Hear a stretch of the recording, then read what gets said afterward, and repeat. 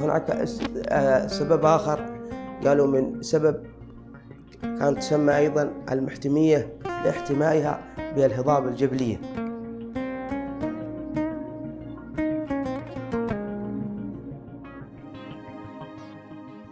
آه، طبعا آه، الحامي مشهورة أيضا بعيونها الحارة. تقريبا أكثر من 23 عين. مياه ساخنة.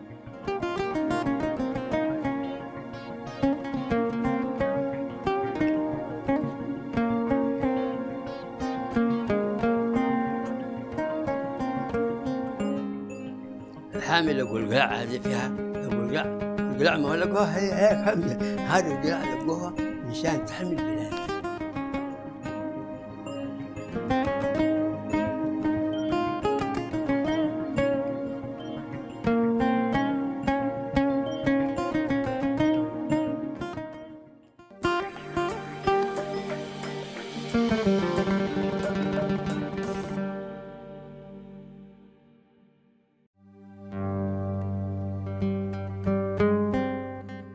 مدينة الحامي طبعا من أشهر مدن ساحل حضرموت التاريخية وتقع شرقي ميناء الشحر التاريخي وهي مدينة تطل على آه، بحر العرب.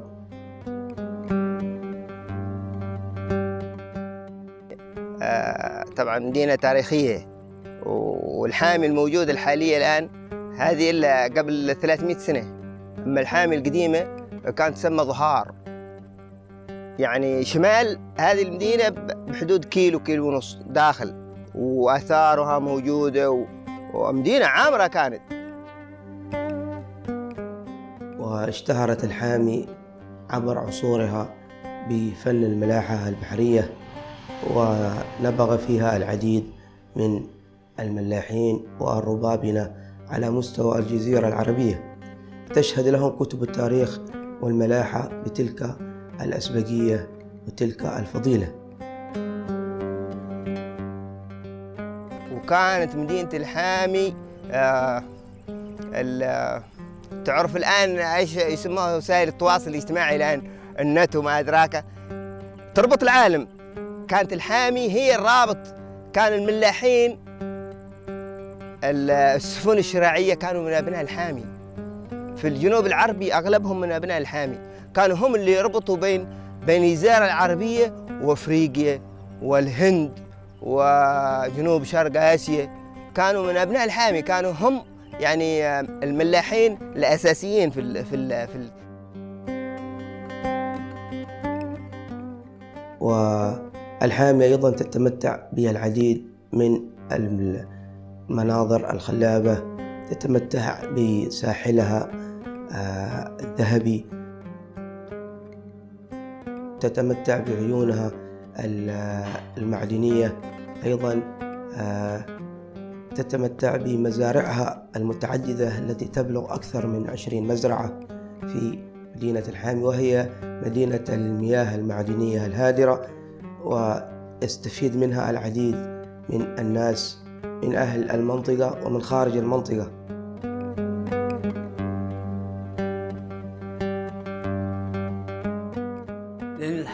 هذا كانت أولا ومز- م- مصدر للماء لأن كان ما ماشي في الأراضي هذه كلها إلا في الحامي وكان كل أي ساعة يسي أي ساعة يسي ها دخول المكلة ودخول الشحر ماشي ماء ماشي ماء إلا في الحامي وكان لازم إنها تي للحامي وتتبذل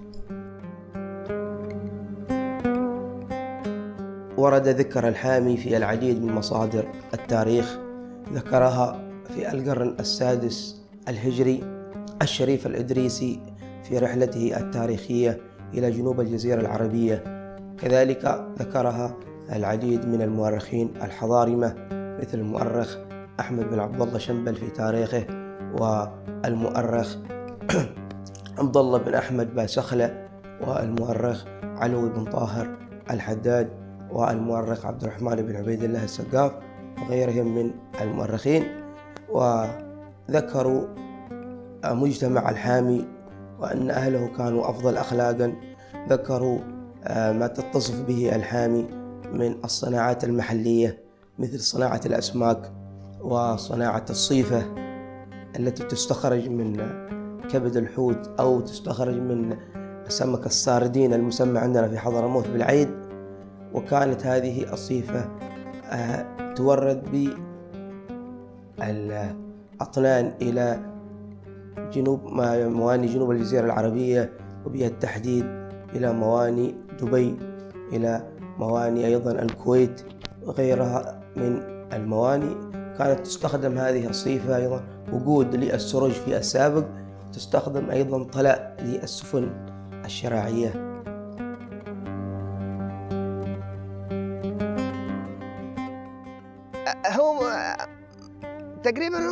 عدة أسماء الحامي؟ اسمها الظهار واسمها عطار. الأسماء القديمة الظهار وعطار. والحامي أعتقد أن الحامي ارتبط هذا الاسم بالمياه الحارة. بالمياه الحارة يعني الحامي هذا الاسم المتأخر يعني قبل 300 سنة. أما ما قبل كانت ظهار وكانت منها والغرب عطار منطقة اسمها عطار هنا. كانت هذه اسمها الحامي.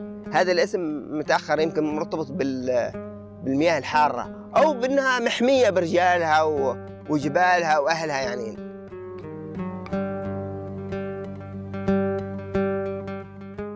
الحامي في الأصل أن الحامي هي جاءت من الحمة. قالوا الحمة هي العين التي يستشفى بها الأعلاء أي المرضى. أول من ذكر هذا الاسم هو الشريف الإدريسي في القرن السادس الهجري. فلأن الحامي كانت في المنطقة القديمة التي تسمى بالبلاد الفوقية. وكانت مياه الحامي تنبع من هضبة جبلية وليست من باطن الأرض. لكن حصلت في فترة من الفترات في نهاية القرن الثاني عشر الهجري هزة أرضية فغارت المياه إلى باطن الأرض.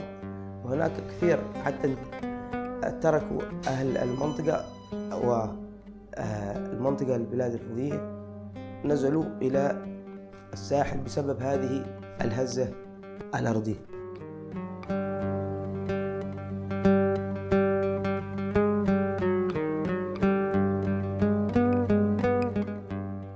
أيضا هناك سبب آخر قالوا من سبب كانت تسمى أيضا المحتمية لاحتمائها بالهضاب الجبلية.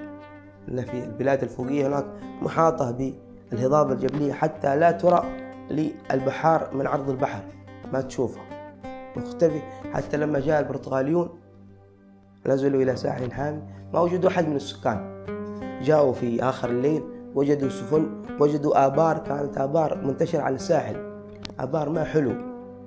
فقاموا بردم هذه الآبار بردمها وأحرقوا المزارع. وهناك بعض المواشي في الحواش كان معهم حواش قاموا بقتلها. أما الأهالي والسكان لم يتعرضوا بأذى. وأيضا أحرقوا بعض السفن الشرعية الراسية في هذا الساحل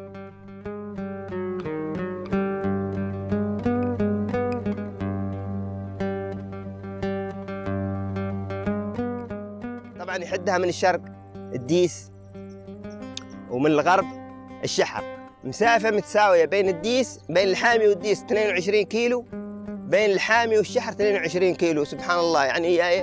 في الوسط.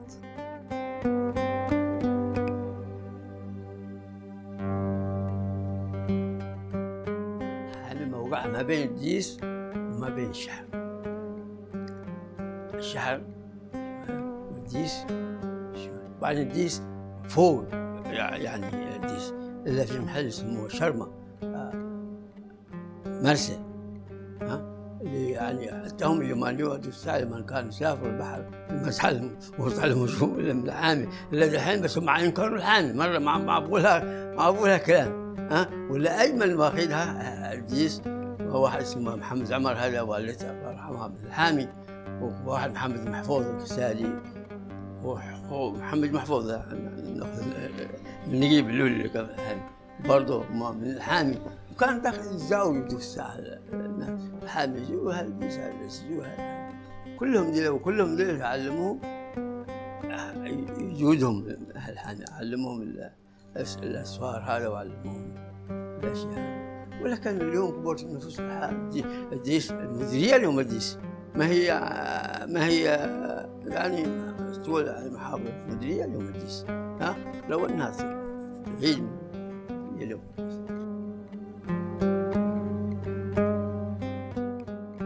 طبعا آه، الحامي آه، مشهورة أيضا بعيونها الحارة.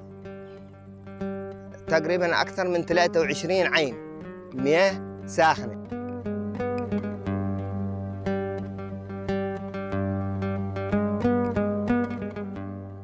أما الأهمية طبعا ال- العلاجية فالحامي أيضا لها هذه المياه لها أهمية علاجية. وذكرها الشريف الإدريسي منذ القرن السادس. ذكرها أيضا العلامة أحمد بن حسن العطاس من علماء حضرموت في القرن الرابع عشر. قال إن في الحامية القريب من الشحر عينين من الماء الحار دائما. إحداهما الغسل فيهما يذهب آلام المفاصل. هذا معيان يسمى معيان القنبع. هذا خاص لآلام المفاصل آلام الروماتيزم آلام الشلل المبكر أو الجلطات الخفيفة. هذا يغسل المريض في هذا العين وبعد ما يغسل يطلى من ترسبات هذه العين وتسمى عندنا في حضرموت بالخوبة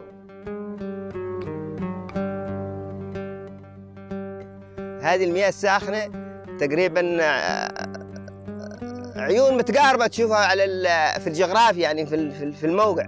لكنها مختلفة في الصفات والمكونات من عين إلى إلى أخرى. وأيضا صفاتها العلاجية. بعض عيون مثلا للرياح كما يسمى القنبع. بعض عيون للثة والقرحة وذا كما كما عين الظاهرة. بعض عيون لل- للإحساسية والسلاخ وال... وال... وال... كما عين أبويا سالم. آه، أيضا آه، نفسها العين ذي للإمساك ولل آه، ول- وللإسهال.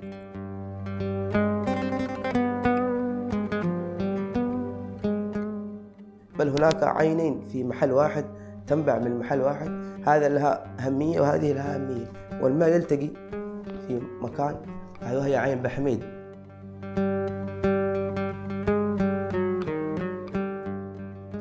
السلطة محلية قبل فترة آه، عبر برنامج آه، الأمم المتحدة صندوق النقد مقابل العمل اللي ساهم في صيانة العيون. هذه العيون الآن اللي بتشوفوها آه، تمت صيانتها قريبا يعني عبر عبر عبر هذا الصندوق. حق الأمم المتحدة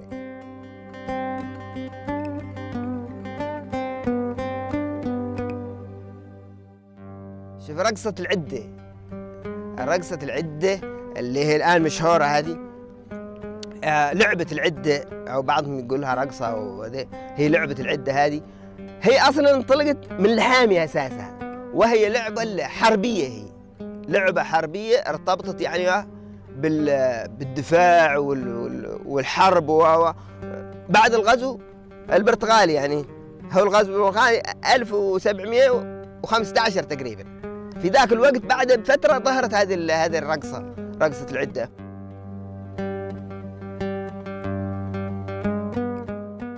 وعندهم رقصة الشواني مرتبطة بالبحر. الشواني يسموه شبواني بس ما أنا داري منين جات الاسم شبواني.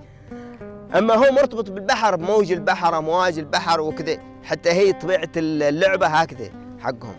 وأيضا الرق- لعبة الغية لعبة ال- الهبيش والشرح. كلها يعني ألعاب مرتبطة به مرتبطة ب, ب... بسكون ال... ال... الإنسان في في في موقع يعني استقرار.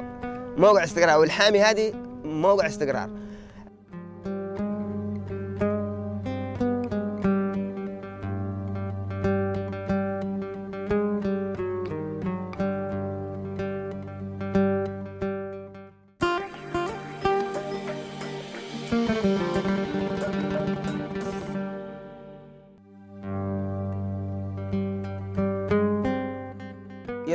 المؤرخ محمد بن عبد القادر بن مطرف أن أهل الحامي آه، يسموا أهل الحرف الأربع. فابن الحامي صياد بحري ابن الحامي مزارع ابن الحامي تاجر ابن الحامي ملاح. لكن في السابق كانت مقدراتهم الملاحية تفوق جميع ذلك. اولا أبناء الحامي مشهورين بالملاحة وال- وهي المهنة الأساسية. ومن ومن أشهر الملاحين في الحامي آه، الربان الملاح العظيم سعيد سالم بطايع اللي هو ألف آه، منظومتي الملاح بط... منظومتي ملاح بطايع وهي كانت عبارة عن آه، عن شعر. شعر بس يحدد لك بالضبط يعني زي زي الكتالوج. أم تسافر من من عمان إلى الحديدة أو من من من من الحامي إلى إلى أفريقيا. بالضبط يعني إيش من نجم تمسك وايش وايش وإيش يعني محدد لك بس شعر. وكان ما حد يطلع البحر إلا هو يحفظه. هذا طبعا ريال قبل قبل 310 عام توفي.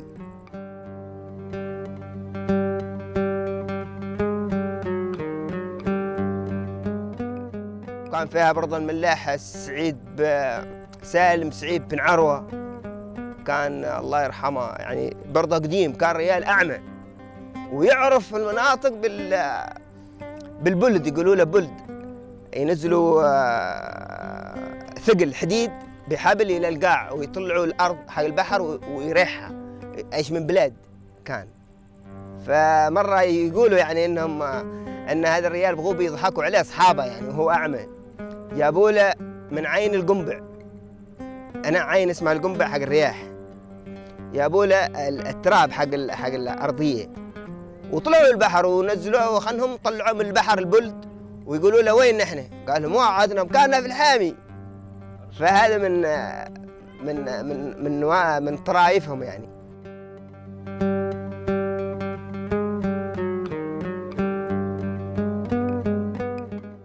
أما الآن وقد تلاشت الملاحة الشرعية فبقي الصيادة.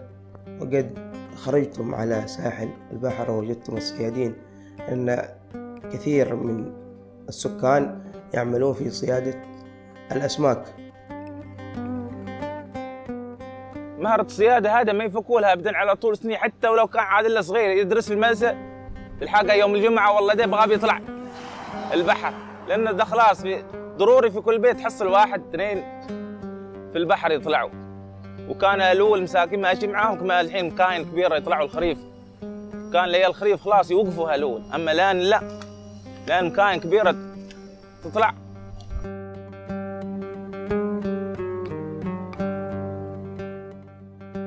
أيضا بعد ما تخلص دي موسم يقفل البحر تقافيل يقولوا لها.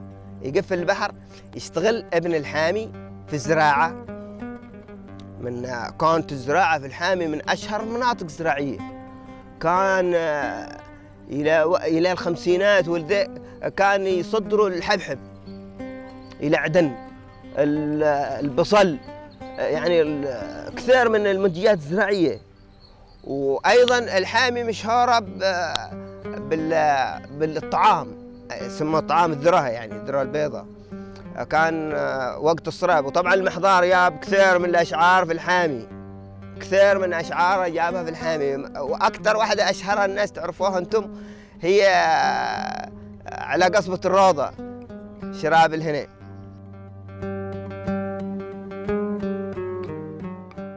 أهل المنطقة يكون عندهم شبه اكتفاء ذاتي. عندهم الحبوب عندهم الفواكه. كانت ال- الفواكه الفائضة توزع وتنقل عبر السفن الشراعية إلى الشحر إلى المكلة إلى. إلى عدن إلى الحديدة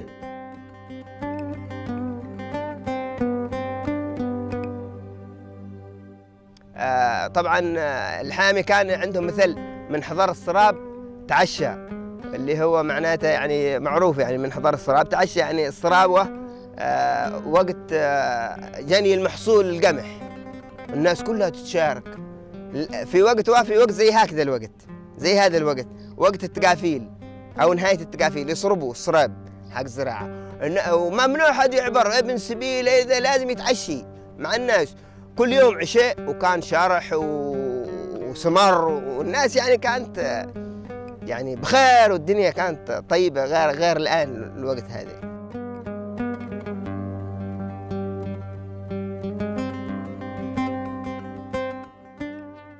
ويذكر أحد شعراء حضرموت عند عبد الله بن أحمد باحميد في قصيدته التاريخية عندما قال وادخل إلى الحامي في وسطها واجزع ما تلحق إلا سواعي في مراسيها. المهنة الثالثة تاجر. طبعا يشتغلوا في التجارة أبناء الحامي آه نتيجة لأنهم أصلا مرتبطين بحضارات أخرى لأنهم في ال- في الملاحة يجيبوا بضائع ويسوقوا للحامي والغير الحامي بس التجارة محدودة يعني. ففي وقت ال- التقافيل هذه يبيعوا اللي يبيع البضائع يعني محلية وبعضها اللي هم يجيبوها معاهم. أهل ساحل حضرموت أهل الحامي بالخصوص يأخذون معهم البضايع إلى زنجبار يأخذون معهم البصل يأخذون معهم ال- الخم الحنيذ.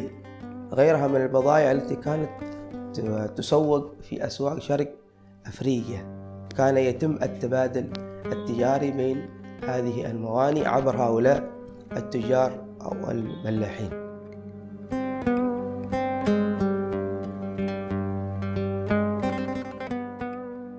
لأن المعالم طبعا معظم المعالم خصوصا المعالم الأثرية معظمها اندثرت ولم يبقى إلا هذه الأكوات الأكوات المنتشرة على آه، هضاب الحامي التي كانت تشكل حراسة في أيام السلطنة القايطية وربما أيام الإمارة الكسادية لأن في كان إمارة كسادية وطبعا الإمارة الكسادية في الحامي هي من أسست الإمارة الكسادية في المكلا ما هو معروف في التاريخ.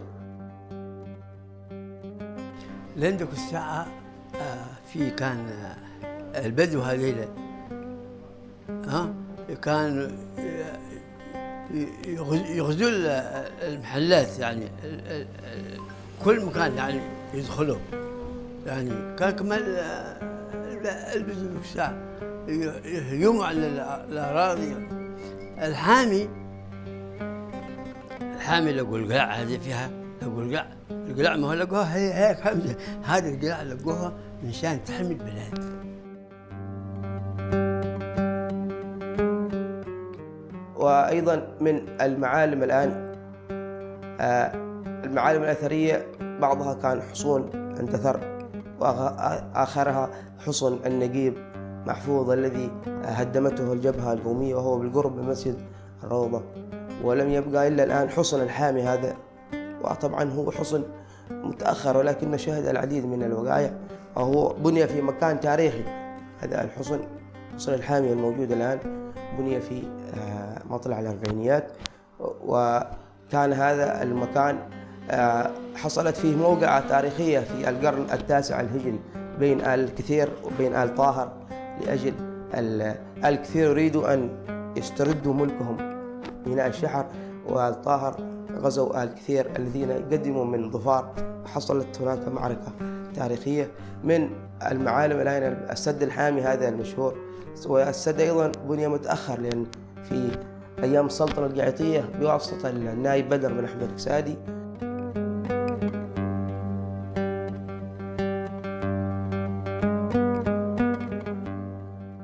الحامي أهل كرم.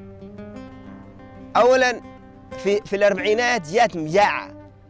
جات مجاعة لدرجة أن من آه، من حضرموت الداخل في ناس نزحت استقبلتهم الحامي. في ناس حصلهم ميتين على الطريق جابوهم هنا وسموا منطقة بالحامي سموها منطقة الحضارم أو حافة الحضارم. الناس تبرعت تبرعت ببناء بيوت لهؤلاء الناس النازحين من المجاعة في الأربعينات. سموها حافة الحضارم غرب هنا عند مسجد الروضة غرب. هذه المنطقة دليل على إيش؟ على كرم وشهامة وجودة أبناء أبناء الحامي.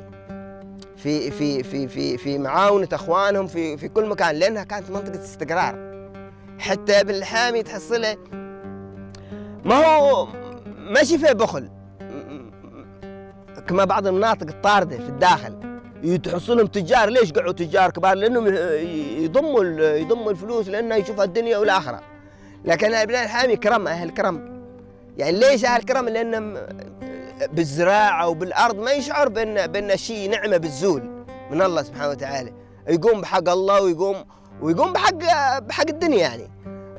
والأرض خضراء تعطيهم نوع من من الاستقرار النفسي إنه إنهم. آه، إن مستقبل آه، يعني ممكن كانت الحامي تغذي نفسها فيها كتفها ذاتي. الا الآن قعوا الناس آه، مع مع تجارة ال- قتل الزراعة الان بتشوف بتحصل بعض المناطق تشوفها الناس يقتلوا الزراعة فيها. يقتلوها قتلا مشان إيش؟ مشان يصرفها بكرة آه سكني. يقول لك هو 20 سنة بور هي أرض وفيها ماء موجود يقتلوها مشان يصرفوها سكني. وهو بعدين ربي بيجيب لهم ال- ال- النقمة.